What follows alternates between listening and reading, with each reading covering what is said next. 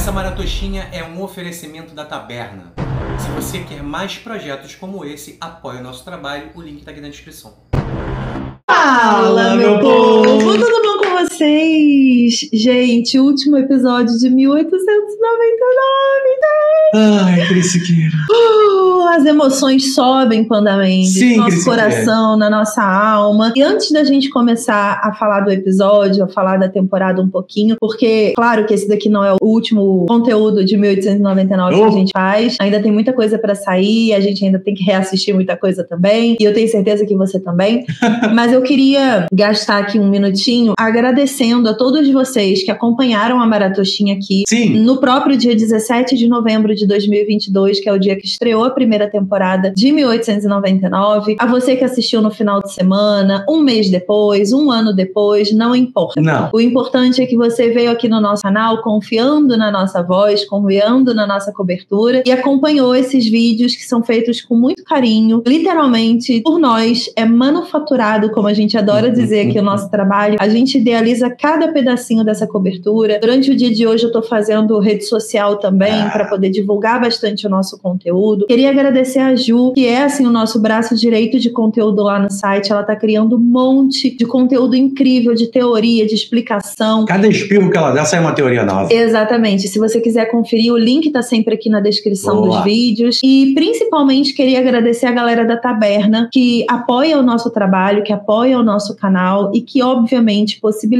que projetos assim sejam feitos com a nossa maior dedicação. A gente gosta de ser muito transparente com vocês e dizer que esse tipo de conteúdo é o que a gente mais ama fazer na É. vida. Conteúdos imersivos que geram experiências pra vocês, pra gente. É uma forma da gente assistir junto com vocês e de vocês terem a nossa companhia também a cada passo dessa história. Nós acreditamos que essa é a nossa missão, né? Exato. Independente se você acordou às quatro da manhã na quinta-feira para assistir importa. tudo ou tá está você. assistindo um pouquinho a cada dia, estamos com você. É isso. E esse ano, em 2022, a gente já teve alguns projetos imersivos. A gente fez maratoshinha de Bridgerton, de Heartstopper, de Stranger Things. Fizemos coberturas de Outlander, de Westworld, que infelizmente foi cancelada. Eu espero que os fãs de sci-fi tenham alguns biscoitos na mão da Netflix com 1899. É, agora, no segundo semestre, a gente teve cobertura de House of the Dragon. Olha. Tivemos de Anéis de Poder. Esse ano tivemos muitas séries da Marvel e de Star Wars, Uhum. também todas com cobertura aqui no canal. E agora ainda teremos algumas coberturas no fim de ano, como Vandinha, tem aí His Dark Materials com cobertura semanal a partir da primeira semana de dezembro. Ei. Willow, a partir também da primeira semana de dezembro. E a última maratoshinha do ano, que vai ser no Natal, de The Witcher Blood Origin. Ei. E, de novo, nada seria possível se vocês não apoiassem o nosso trabalho e não estivessem aqui junto com a gente. A gente sempre ouve perguntas como: mas por que vocês não têm um milhão de seguidores? Por que, que vocês não têm o alcance XYZ? Óbvio que existem inúmeros motivos. No meu coração, o motivo é sempre o mesmo. A gente é como a casa da avó. E a casa da avó, às vezes, não é muito popular. Ou uma casa de bonecas. Shh.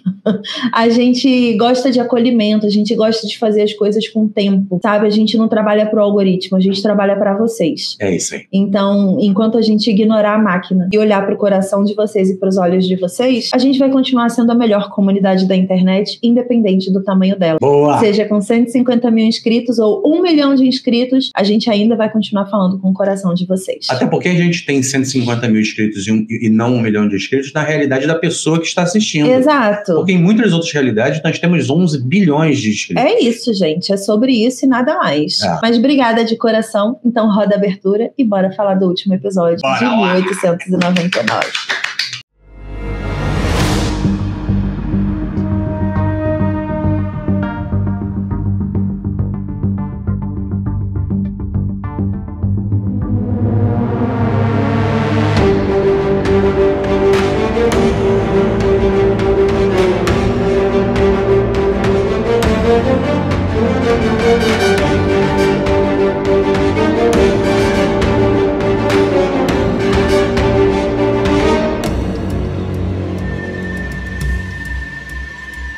Quando eu estamos aqui neuróticos com esse último episódio. Eu tô aqui Será? pensando. Não, eu tô aqui pensando assim, ô, ô, ô Yante, ô Barambodar, minha casa serve a vocês. Caraca, eu estou completamente mais apaixonada por esses dois. é, Pela cara. Yante, principalmente. assim. Foi um trabalho, assim, belíssimo. Exemplar. exemplar e assim, tipo, um primor de, de entretenimento Sim. que a gente acompanhou na última temporada de Dark. É. Eles entregaram na primeira a sensação e o sentimento que nós tivemos na última. É. Na verdade, todo final de temporada foi meio assim, né? Não, a gente tem uma imersão muito gostosa com É. as histórias deles, né? E a gente é uma não sai de que- lá, né? Não, é uma coisa que, que mexe com o nosso imaginário e a gente fica querendo falar disso muito. É. Referenciar o tempo todo, pensar o tempo todo. Enfim, completamente apaixonada e entregue. Engraçado, né? Porque em Dark, quando terminava cada temporada, a gente julgava o que era real que tinha sido apresentado ou não, por Aham. causa das viagens do tempo, as realidades paralelas e tal. E a gente tem o mesmo sentimento sem nem nada disso. É. ok, estou julgando o que eu sei, o que eu acho, no final dessa temporada, tanto quanto. Exato. É muito impressionante. Mas começamos o, o episódio com um flashback do Elliot. Sim, o pequeno menininho demoninho. É, e todas as lembranças dele, os traumas deles, estavam envolvidos com vivências dentro da simulação, Cris. Então, eu queria saber se você acreditou no velho. Do velho? É. Claro, Você acreditou? acreditei. Eu não sei se eu acreditei, não, hein? Acreditei, acreditei. Eu, tô, eu tô meio bolada com esse velho. Então, mas é, é muito impressionante a forma que está sendo utilizada Hum. essa inteligência e essa construção dessa simulação, e tudo isso só existe porque a criadora disso tudo estava extremamente traumatizada. É o médico e o monstro, só que na verdade não é o pai dela que é o monstro. Não, É ela. exato. É doido, né? É, Mas eu, eu fiquei um pouco assim ainda, um pouco duvidosa do tanto que ele falou, se 100% do que ele explicou e do que ele né, entregou ali de resposta, tudo era real, assim. Hum, E mais, a gente tem uma clara noção no início, né, quando ela quando mostra lá uma simulação dela, sim. a primeira vez que aparece a Maura com a roupinha lá com um macacãozinho preto, Aham. tudo, que ela tá indo fazer alguma coisa porque o filho tá morrendo, Sim. o marido aparece falando: não, não faz isso, deixa ele, ele precisa descansar. Ele sendo extremamente contra, É. né? E aí, na explicação do velho, eles fizeram isso juntos. Então, de alguma forma, ele só aceitou e embarcou na dela. Isso. Ou aquilo ali que a gente viu também não é real. Então, aquilo, aquilo ali é dentro da simulação também, É. né? Aquela sala, o hospício,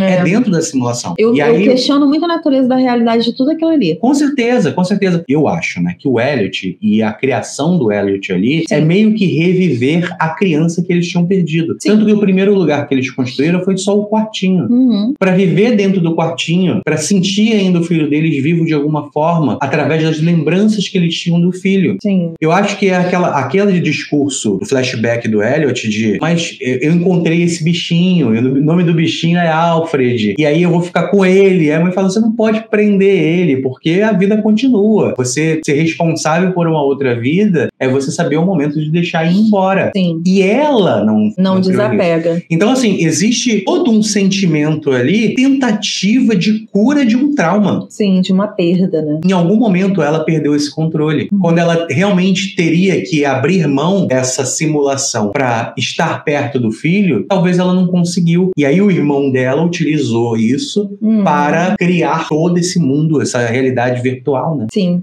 Eu acho que todos eles perderam, né? Todos os personagens ali perderam alguém. Ah, E optaram, se voluntariaram a estar ali para curar essa perda ou para continuar com essas pessoas de alguma forma. É. Penso muito sobre isso, assim, porque o E para capitão. decifrar a consciência humana, né? E tem isso também. E é curioso, assim, porque lá no início, quando a gente tem a explicação sobre os traumas, agora eu já não sei mais o que é que você fala aqui em casa, o que eu vi na série, o que é do roteiro da Yante, o que é gente falando dentro da história, já não sei mais qual é a natureza da minha própria realidade. É isso aí, Cris. Mas vamos lidar com todas as informações aqui para ver se você entende o que eu quero dizer. se tá tudo ao mesmo tempo, Ah, coexistindo na nossa mente, né? E, e a mente vai lá nos traumas, negócio do é, cheiro. então, foi eu que falei isso para você. Eu fiz Obrigada. um curso de subconsciente. eu tô aqui. Aonde eu ouvi esse inferno dessa É, explicação? É, A ideia é que no nosso subconsciente, todas as nossas memórias e acontecimentos, controlados ou não, acontecem ao mesmo Ao tempo. mesmo tempo, E exato. os gatilhos, e até o, o Henry fala isso, né? Os gatilhos é uma forma de, às vezes você não lembra de um acontecimento, mas o seu corpo reage a Como uma se- memória. Sim. Que você não lembra. Como tá se estivesse ali, né? Naquele tempo, assim. E aí, no momento que acontece o gatilho, o seu todo corpo. o trauma reage. É isso, tipo, a sua mente não tem noção de tempo. Isso. Não existe um relógio controlando a sua passado. mente. Então, a sua mente, ela referencia determinadas situações como se você estivesse lá, no É. momento que essas situações foram registradas pelo seu cérebro. Sim. Por isso que gatilho existe, né? Se você, por exemplo, foi abusada por alguém e aí você vê uma cena de abuso, aquilo ali te engatilha porque o seu cérebro não sabe diferenciar o seu abuso do abuso que você tá vendo. Pra ele, você está vivenciando o abuso de novo. Isso também acontece quando a gente é criança, assim, que a gente vai na casa da avó. Aí depois, adulto, quando a gente volta na casa da avó, a gente fala, nossa, mas parece tão menor do que eu, eu tenho noção. É. E aí você tem um, um Um choque, né? um choque de realidade dimensional, porque no seu cérebro aquele ambiente era muito maior. É. E aí, quando você entra e você se vê maior dentro daquele ambiente, você fica. É confuso, a sua, a sua realidade fica quebrada. Quando você sente aquela nostalgia É. da sensação, isso também é um gatilho. Exato. E não existe gatilho só pro trauma. É, os mas para gatilhos acesso a são. qualquer memória que te causa Registros. alguma transformação. Exato. Pegando isso, Ah. Mendes, o que eu penso? Que todas essas pessoas que estão ali dentro, elas têm gatilhos dentro da história. Sim. E é por isso que a gente tem um up a cada episódio. Sim. Porque a gente acessa os gatilhos dessa galera. Por exemplo, no momento que a, a, a menina lá que faz a gueixinha, Sim. no momento que ela tem o gatilho que faz ela lembrar da perda lá da amiga, do que ela fez, de trancar na caixa e tudo mais, é quando a gente vê a história do que realmente está acontecendo. E aí, a, a partir desse gatilho, ela começa a tentar uma. fugir do gatilho. A partir do momento que ela revive, ela começa a tentar fugir. E isso acontece para todos eles. É. E a gente vai vendo a construção da cura É. do trauma. Talvez seja muito mais sobre isso. E eu acho que o pai dela não está sendo 100% sincero porque ele também é um gatilho pra ela. E ela é um gatilho pra ele. Exatamente por conta da história que ele conta. É. Né, de que quando ela era nova, ela leu lá a Caverna de Platão, ela ficou psicopata maluca. É, e dá pra perceber que eles não tinham um relacionamento tóxico. Não. Né? Ele- existia uma troca ali entre É. eles dois. Só que, no momento em que ele fica preso dentro de uma realidade virtual dela e ele tem que reviver isso, ele começa a tentar tomar controle sobre ela, já Sim. que ele julga que ela está descontrolada Isso. dentro da realidade que ela mesma criou, dentro da caverna que ela mesma criou. Exatamente. E aí é interessante porque ele não acha que ela deve fazer qualquer coisa. Ele acha que ela deve liberar o controle para ele sair dali. Isso. Porque ela é uma pessoa descontrolada. E ele, é- ele não tá nem aí pra ela. Ele não tá nem aí pra Mas é aquele- ele faz o papel do- da razão. É. A pura razão, sem emoção nenhuma. Exato. E eu fico pensando muito sobre a construção desses personagens e sobre por que, que eles estão ali, por que, que eles estão superando esses traumas, Ah. por que, que eles escolheram superar esses traumas voluntariamente e tudo que ela construiu com o marido dela, sabe? Até que ponto o marido dela realmente era contra como apareceu, até que ponto ele não, não foi uma das pessoas que, com aquela coisa dele falar do tipo, não esqueça. O que é pra não esquecer? Às vezes, ela estava superando a morte do filho e ele não. É. É porque a gente tende a achar que ela é culpada porque tudo tá sendo colocado no colo dela, né? Aham. Mas e se ele for o grande responsável? Foi ele que resolveu o problema, ela não sabia Não, ele construiu a realidade, né? Sim. Ela arquitetou e ele construiu. E é mais ou menos o trabalho da Yanti com o Barão Com o Bodar. Barão Bodar. sim. Ela constrói a ideologia daquilo tudo e ele monta como se fosse um engenheiro. Exato. Nossa, cara. É muito incrível. É muito sobre eles. Eu tô assim. muito apaixonada por essa série, gente. De coração. Então, a Maura, quando ela retorna, ela sai de toda essa maluquice, Sim. ela resolve contar pros passa- passageiros toda a verdade, porque o, o Capitão Ike, ele retorna pro. Prometheus, né? Pro Zerberus. Kerberos. Kerberos. E aí, quando ela conta, é aquela parada que a gente falou no vídeo anterior sobre contar o que é verdade pra quem está apreciando as manchas na caverna de Platão. Uhum. Ela contou a verdade e a maioria virou as costas pra ela e falou: Não, você tá maluco, eu tenho que sair daqui, porque Sim. não tem como isso aqui não ser real. Aí ela fala: Mas você lembra como você chegou no navio? E aí ninguém lembrava. E é interessante que eles usam um jargão de internet, né? Porque o, o cara de. Ai, quem foi que falou? Um deles falou lá: Ah, eu pensei que era só eu que não lembrava. E isso é muito internet, né? Eu achei que só eu vivesse isso, porque tá todo mundo tão trancado na sua própria individualidade que eles não conseguem realizar que todos os outros estão vivendo a mesma coisa que eles. Sim. Cada um tem seu problema. Caraca. Ai, eu tô tão apaixonada. Eu nem, eu nem. Sabe aquele momento assim do romance? Primeiro momento assim de um namoro que tudo você. Tudo é mágico, Tão encantado. lindo, É. sabe? Todo mundo tem carta. Todo mundo tem carta. Nossa, cara. Nossa, e quando eles começaram a entrar um na, no trauma do outro, um no caminho do outro, deu uma bugada tão grande neles, Nossa, né? Deu é. um- um- uma dó, assim, porque você não sabe lidar, né? Um outro, e é. É. um problema você acessar. É o que eu sempre falo da empatia, né? Não tem como. Você não tem como se você não for a pessoa. Você chega numa zona de guerra em que uma pessoa viveu um trauma. Se você vai lá nessa zona de guerra, a sua perspectiva sobre o lugar nunca vai ser igual ao do outro. Nunca. Mesmo você visitando a bendita zona de guerra, sabe? E exatamente como. E isso explica muito como é difícil o trabalho de um terapeuta ou um psicólogo, É, né? É, Porque você está acessando o tempo todo as memórias de outra pessoa. exatamente. E você não pode julgar. Exatamente. Porque você não- senão você traumatiza e fecha ainda mais aquilo na pessoa. Nossa! É muito incrível, muito maravilhoso. Ó, eu já quero Ah. deixar aqui combinado na próxima terça-feira, Ah, dia 22. eita, lá vai a Cris. Não é, eu acho importante a gente já avisar. Muita gente Sim. tá perguntando nos comentários se vai ter live pra gente conversar. Sim. Pra gente discutir sobre a série, e é óbvio, sim, jamais a gente vai largar a mão de vocês. Mas na segunda-feira a gente tem um compromisso de uma gravação que vai de 4 da tarde até as 10 da noite. Então a gente não tem como fazer nada na segunda-feira. Mas na terça-feira, à noite, vocês segurem essa alma aí de vocês, porque vocês são nossos.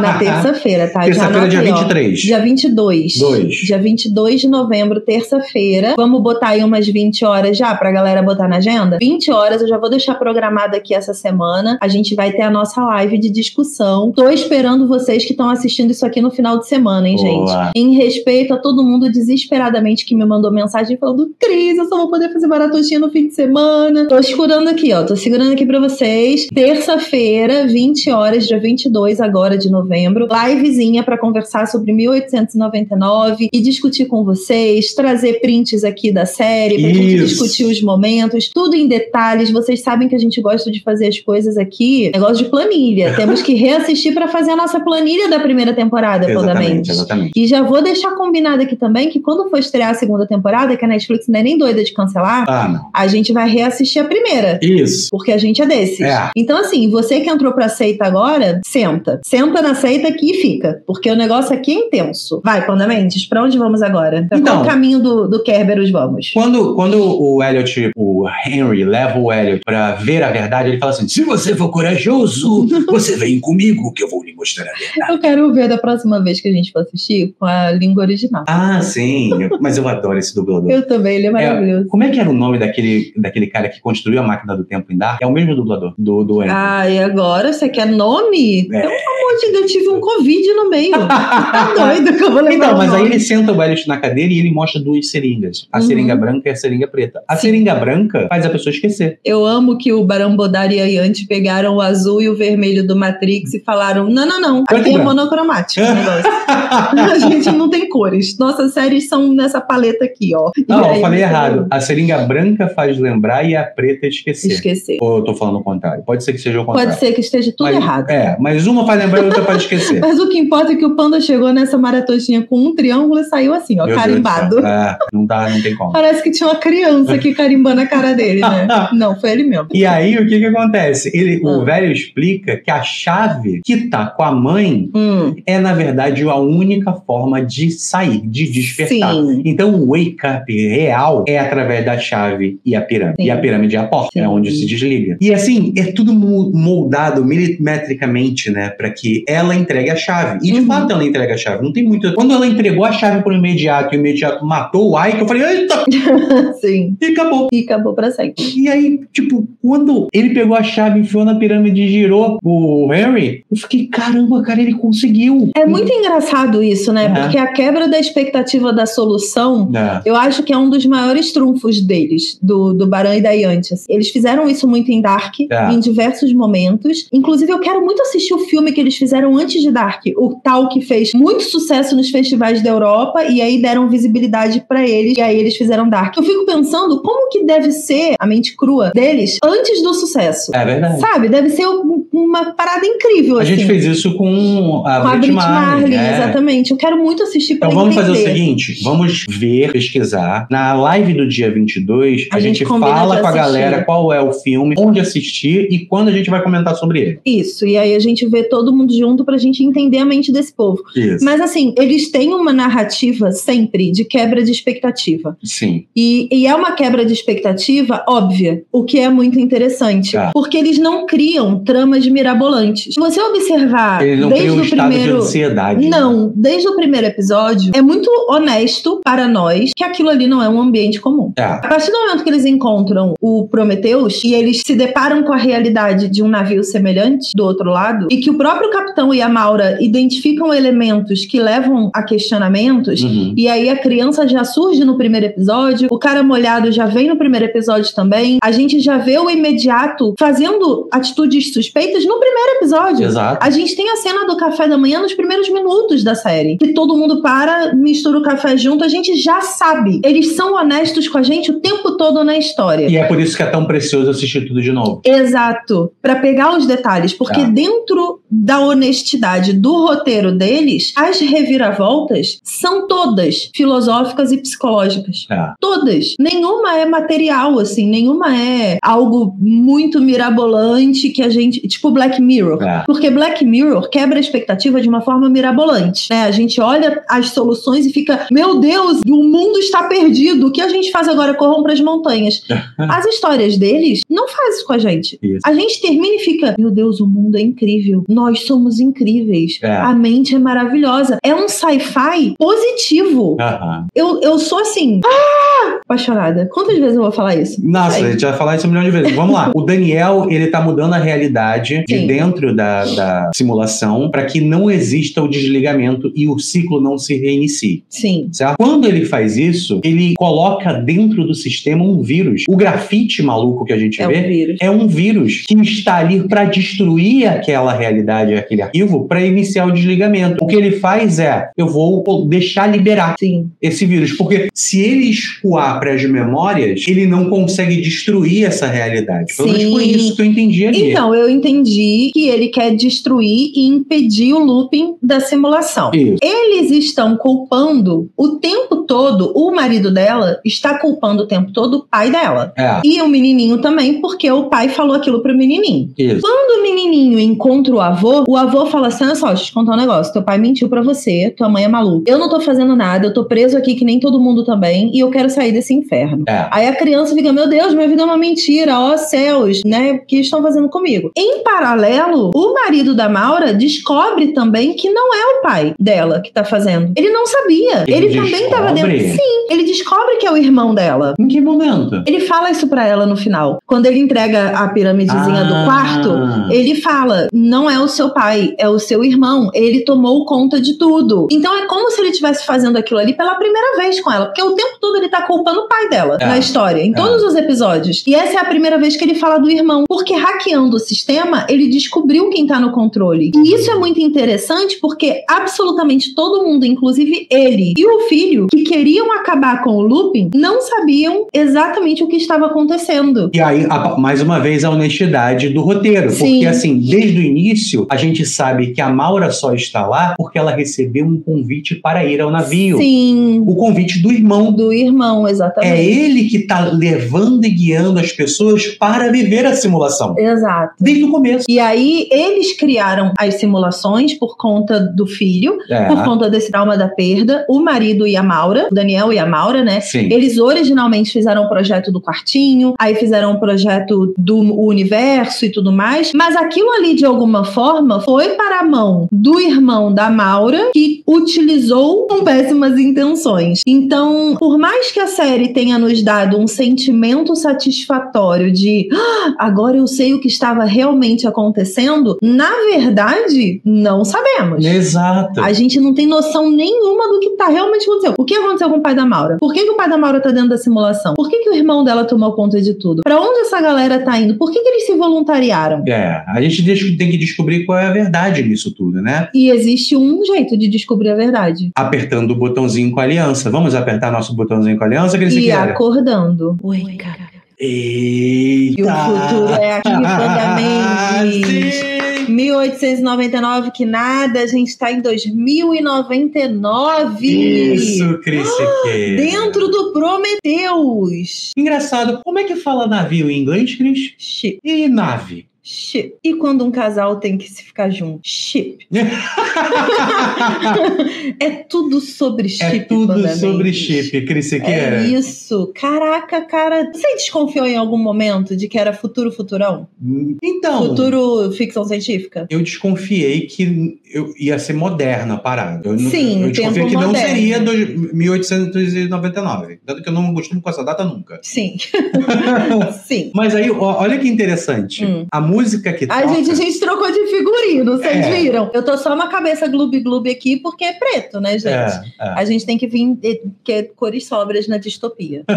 Pode continuar. O nome da música que toca no final desse último episódio é Starman, que é Homem da Estrela, né? Sim. E olha, olha a letra. Essa música uma galera conhece do David. Bow- Bowie. E aí, olha a letra. Não sabia que horas eram, as luzes estavam fracas. Eu me inclinei sobre meu rádio. Algum cara tava tocando rock and roll. Bem maneiro, ele disse. Aí, o som alto pareceu desaparecer. Voltou uma voz lenta numa fase da onda. Não havia nenhum DJ. Aquilo era uma batida cósmica maluca. Há um homem das estrelas esperando no céu. Ele gostaria de vir nos conhecer, mas ele acha que nos assustaria. Ou, na verdade, ele acha que vai explodir nossas cabeças. Blow your minds. Uhum. Há um homem da estrela, aí repete, aí ele falando, porque ele sabe que tudo vale a pena, ele me disse. Deixe as crianças se soltarem, deixe as crianças aproveitarem, deixe todas as crianças dançar. Tudo é tão bonito e tudo tão legal.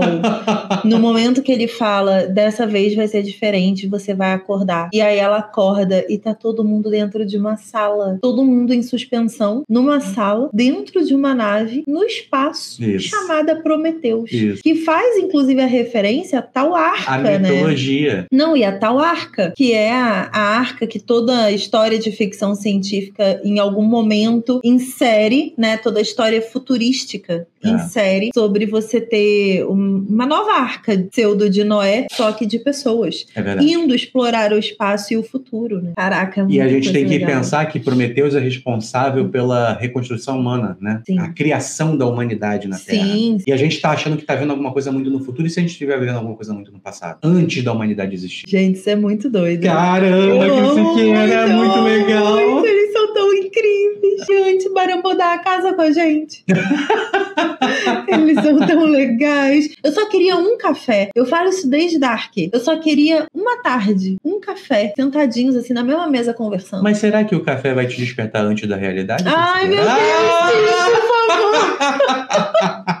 Ai, por favor. Por essa me eu não esperava. não. Ah, por favor, me desperta, me leva junto com você. Gente, eu amei tanto o final dessa, dessa primeira temporada. Eu achei tão sensacional e tão gostoso e tão. Faz sentido, sabe? É. Quando você grita assim, meu Deus, sim, é sobre isso. Faz muito sentido, cara, é tudo. Tudo. É muito E aí, sabe o que é interessante? A série faz a gente pensar sobre a nossa própria realidade, né? Sim. A gente está construindo esse vídeo aqui para pessoas invisíveis assistir. E aí a gente está fazendo isso para interagir, para entreter e no final mandar uma mensagem. Né? Porque, independente da nossa rotina, e a gente pensa muito nisso, quando a gente constrói nosso conteúdo, a gente constrói um conteúdo para você sair da sua rotina. A série fala sobre isso, né? Sobre tudo que você constrói ao seu redor, é, na verdade, uma grande ilusão para te manter ali dentro. Uhum. E muitas pessoas perguntam: nossa, e agora que a série acabou, o que, que eu vou fazer até vir a próxima temporada? Você tem duas opções. Ou você passa a ver a realidade como algo onde você pode construir para em algum momento você despertar, ou você continua mantendo essa realidade com a missão de passar algum conhecimento para frente para que despertem outras pessoas. Afinal de Sim. contas, todos somos a mesma pessoa. E o navio que existe dentro da realidade virtual é o mesmo navio que existe fora. Então, se existe alguma outra realidade que não dá pra gente acessar ou despertar ou acordar, Algum universo, né? a gente já tá vivendo nela de alguma forma. escolhas que a gente faz nesse e nessa existência impactam nas escolhas que a gente fez no passado e nas que a gente vai fazer no futuro também. Isso é muito incrível, muito incrível. E se não fossem nossas ideias, no- nossa criação, nossa criatividade, como a gente sente a realidade de alguma forma, Sim. nada disso existiria. E é você só não precisa desistir. Essa que é a, é a grande questão. Sim. No momento que você desiste e as coisas vão continuar existindo além da sua, da sua vontade, meio que tudo para. Então só não desiste, porque É. por mais que as coisas não se resolvam para você, pode se resolver para outras pessoas com o passar da história. Por causa da sua história, É. inclusive, né? É. E isso é muito Que é engraçado. no caso lá da, da Kate Chopin, que escreveu o livro, foi Sim. renegado, mas inspirou a Yanti a escrever essa história. Não, e, e provavelmente transformou a história de milhares de mulheres do mundo inteiro. Exatamente. Porque por mais que a gente leia e fique em silêncio, esse silêncio muda muita coisa também. É. Muda a nossa visão de mundo. E isso já é gigantesco, assim. A Exatamente. gente pode não ter coragem de agir, mas se a gente mudar a nossa visão de mundo, pelo menos a gente deixa de agir errado. É. E isso já é muito grande. Você não precisa plantar árvore, mas você pode não desmatar. E isso já resolve muita coisa. É meio que isso, né? E ensinar Mas alguém um- como se planta, talvez. Mas uma coisa que eu estou há três vezes tentando falar aqui, Mano Mendes, você não deixa,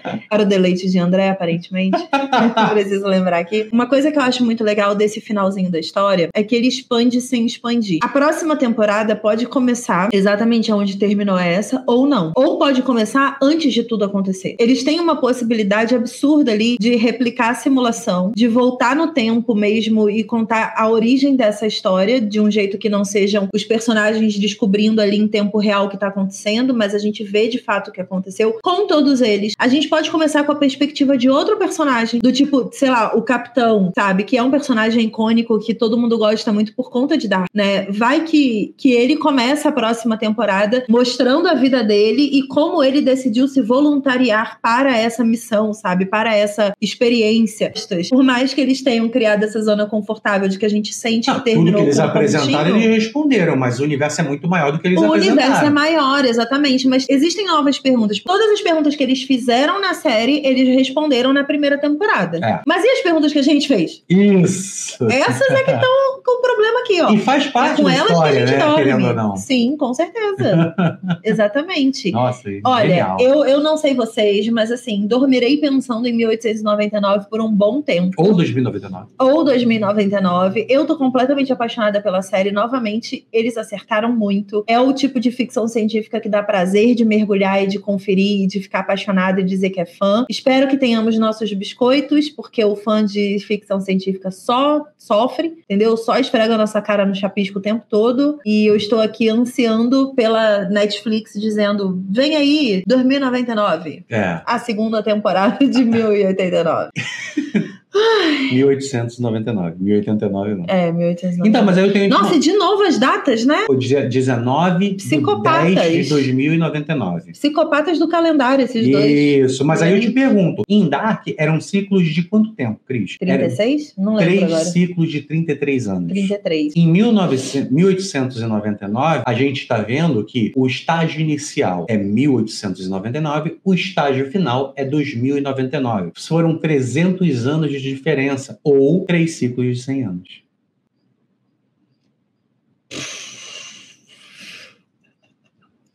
É isso. Isso quer dizer alguma coisa? Não, mas a gente faz esses cálculos doidos. Calma, eu sou de humanas, vamos lá. É 1899, 1999, 2099. 2099. Treze- Não, 300 anos. dá 300? É. Não dá 200? Não. Não, aqui, de 1899 para 1999. De 1999 para 2099. Claro que não, Cris. Não sei fazer conta, gente. Peço perdão pelo. Eu tô certa? Não. Tô sim, você falou que eu tô certa. Mas são três datas aí. São três datas, mas são Início, dois meio e fim. de 100. É, anos. mas tem um meio, não tem? Tem, que é 1999, Bug do Milênio. Ah, Bug do Milênio, Panda Mendes! Será que a gente vai ver a década de 90? Imagina o seguinte, E Cris. se eles estiverem na década de 99? Isso, é isso que eu tô pensando agora. Você imagina o seguinte: a gente viu 1899 e a gente pode ver numa segunda temporada 2099. Sim. E aí, no final da segunda temporada, eles entram de novo nesse ciclo e falam: peraí, e se isso aqui não for real? Rapaz. E aí, Cris Siqueira, a gente volta pra 1999 com o bug do milênio. Com o Bug do Milênio. E tudo aquilo era um coma da, Da, Maura. Ah, meu pai amado. E aí, dentro desse coma, ela entrou no seu universo particular. Eu tô. Eu preciso dar play de novo. é sobre isso. assim, Eu preciso começar tudo de novo, desde o chazinho lá. Isso. Desde o chazinho do café da manhã. Isso, Cris.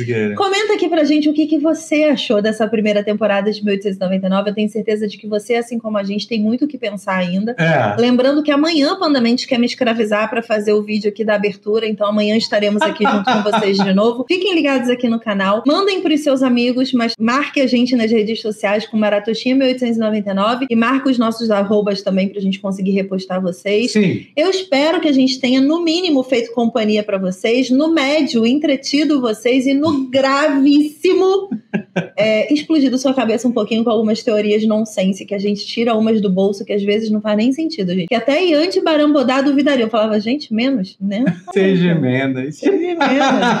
Vocês se empolgam um pouquinho, né, com a gente. Que bom, né? Enfim, espero que vocês tenham curtido essa experiência. Mais uma maratochinha para conta. Isso.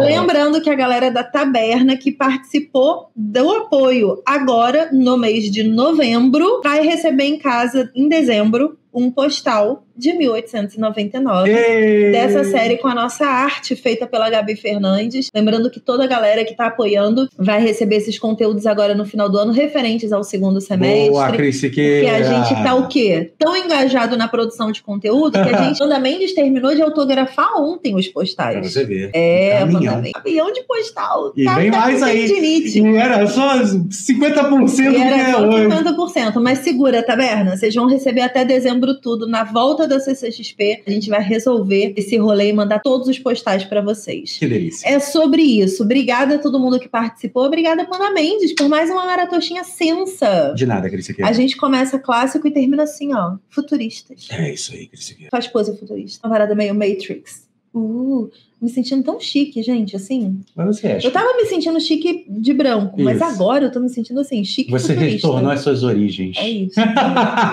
Aquele negócio de, de blusinha de botão, Eita. branquinho. Ih. Não, eu sou isso aqui, ó. Futuro futurão. Monocromática. Obrigada por ter assistido. Amo vocês e o carinho que vocês têm com o nosso trabalho. Um beijo e até a próxima. Tchau. Show.